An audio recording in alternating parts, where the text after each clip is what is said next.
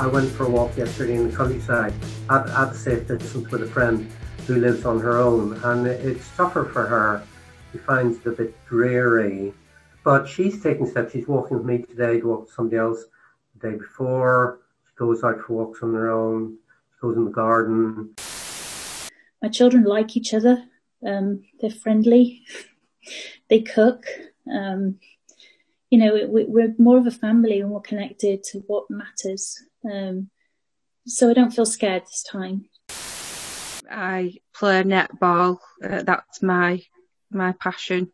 Um, so we managed to get it back up and running eventually, and then um, but they had to amend the rules, so we had to play outside and they had to amend some of the distances. Um, and then because we weren't in the same tier as other people, uh, the place where it's actually played, we we had to stop it and then we started it again and then it stopped again on Monday. So I thoroughly enjoyed uh, my last game on Monday, getting absolutely drenched in the howling wind and rain. Uh, savoured every moment because I don't think we'll be back until next year. So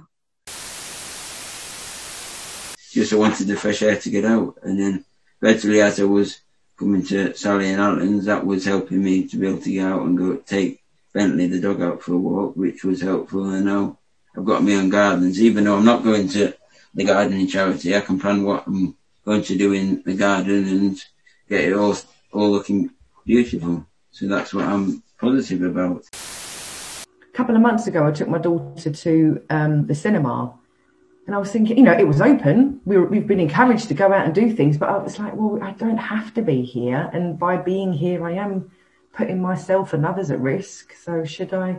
And it was the guilt you know, should I go into the pub, going out for dinner? Well, I don't really need to be doing this. Should I be here at all? So that constant conflict between what I should be doing and what I want to do were kind of constantly at odds. Um, so it's made me think about maybe just how selfish we as human beings are. I remember there was one time um, there was a fly buzzing around the bedroom I was in. You know, my wife moved into the other spare bedroom and I stayed in our bedroom.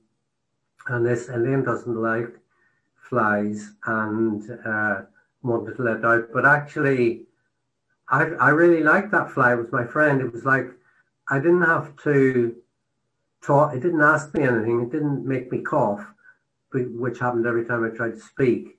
And, and it was like, it kind of made my day, really.